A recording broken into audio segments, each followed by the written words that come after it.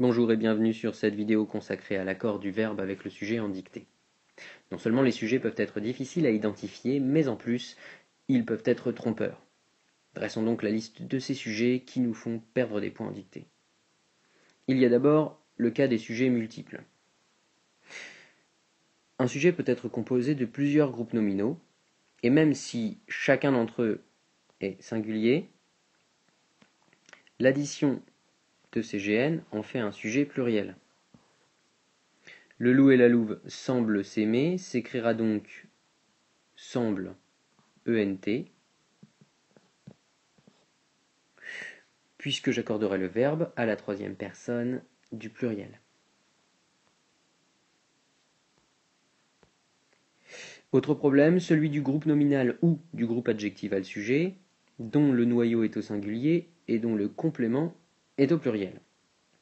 Dans Le plus vieux des chasseurs a regardé le sable, j'ai un groupe adjectival sujet, le plus vieux des chasseurs, composé d'un noyau, l'élément le plus important, le plus vieux, et d'un complément de l'adjectif, en l'occurrence en complément du superlatif, des chasseurs.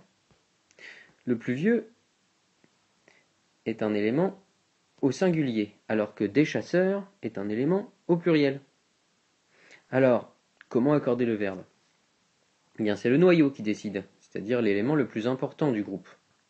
Le plus vieux des chasseurs a regardé le sable. On ne, on ne dira pas le plus vieux des chasseurs ont regardé le sable. C'est d'ailleurs logique, puisqu'en définitive, il n'y a qu'un seul chasseur qui regarde le sable. Toutefois, cela souffre quelques exceptions et nous le verrons un peu plus tard. Autre problème, celui du sujet devant le pronom les. C'est un problème fréquent. Le poète les admire.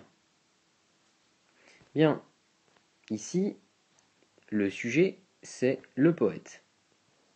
Et pourtant, la présence du pronom les, dont la fonction ici est COD, entraîne souvent des confusions chez les élèves. Voyant les, ils accordent automatiquement le mot qui suit au pluriel. En écrivant admire, ENT, euh, voire pire, S, comme si les était le déterminant d'un groupe nominal. En réalité, le sujet étant le poète, admire va s'écrire E,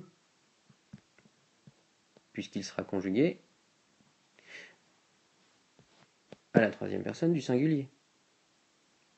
Les n'est ici que le COD du verbe admire et n'a donc strictement rien à voir avec un déterminant.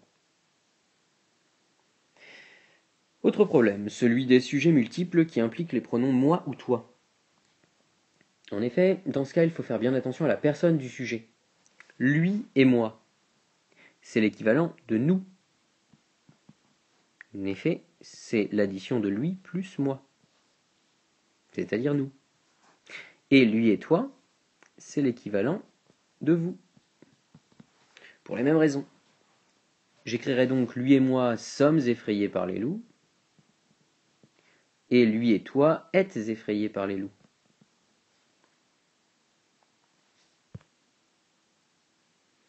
Enfin, attention au pronom relatif qui, dont l'antécédent est moi. On a tendance à conjuguer à la troisième personne le verbe qui se trouve après qui? Par habitude.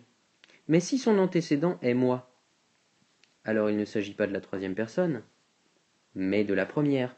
J'écrirai donc c'est moi qui vais tirer VAIS et non VAIT, car ce serait une faute.